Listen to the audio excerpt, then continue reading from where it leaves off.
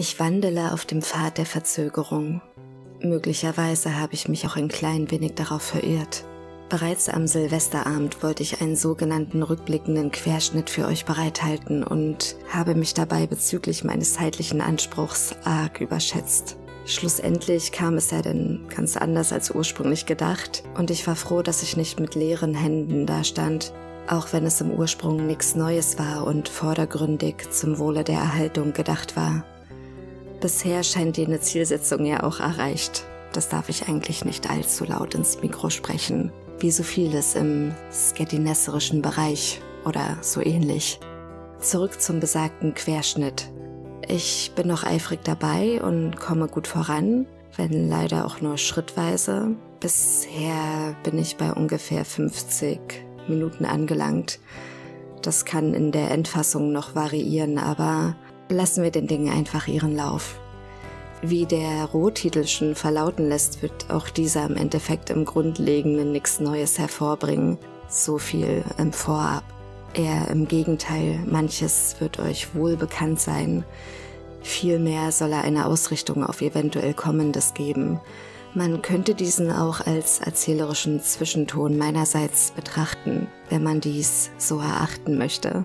Und da ist es schon das passende Stichwort erzählerisch.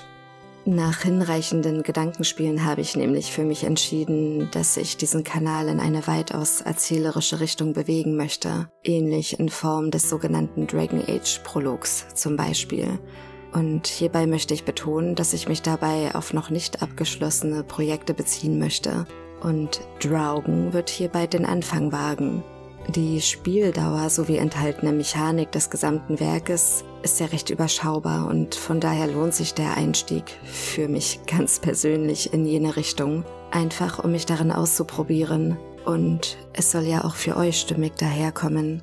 Mein eigentlicher Leitsatz soll dabei lauten, weg vom klassischen Kommentieren und hin zur verdichteten Erzählung. Bei Draugen handelt es sich eh um ein story-fokussiertes Spiel, weshalb diese neue Richtung deckend wäre, gehe ich fest davon aus. Ich ähm, merke selbst, dass es nicht so einfach ist, meine Gedanken plastisch bzw. nachvollziehbar an euch heranzutragen, aber ich denke, ihr könnt euch vorstellen, wovon ich spreche oder worauf ich letztlich hinaus möchte. Auch Silent Hill 4 möchte ich nicht aus meinem Blickfeld verlieren, zumal ich besonders Augenmerk auf einen darin enthaltenen Charakter richten möchte, der wiederum in eine mögliche Charakteranalyse münden wird. Also auch jene Nachwörter sollen unter anderem bestehen bleiben.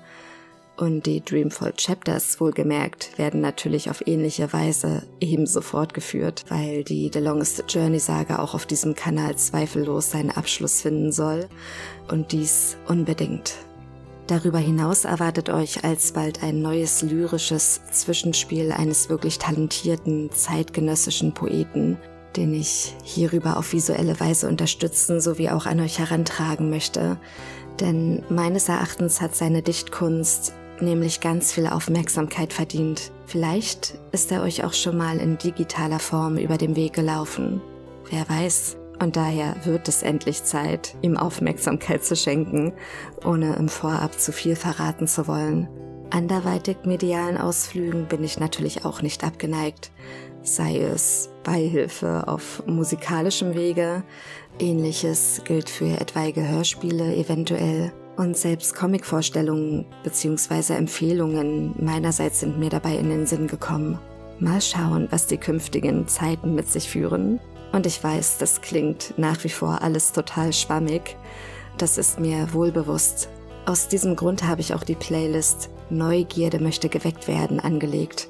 Sie könnte nämlich einen möglichen Ausblick bieten und womöglich könnt ihr dann im Ansatz erahnen, wohin ich mich federführend bewegen möchte. Ich wünsche mir einfach mehr kreatives Sein, mehr kreatives Eigenengagement, also in meinem Sinne für mich selbst gedacht, noch mehr zwanglose Entfaltung eben. Und da ich nicht noch mehr Fragezeichen über euren Köpfen schaffen sowie nicht noch mehr Zeit verstreichen lassen möchte, vor allem unnötige Zeit, werde ich nun fleißig am rückblickenden Querschnitt weiterarbeiten, auf dass wir uns baldmöglichst wiedersehen und vor allem lesen. Ich wünsche euch bis dahin entspannte und gesegnete Tage auch wenn der Himmel noch so grau erscheint, was er im Grunde ja nie ist. Und bleibt vor allem gesund. Das ist ja immer noch das Wichtigste in dieser manchmal wirklich unsäglichen Zeit. Auf bald, eure Jane.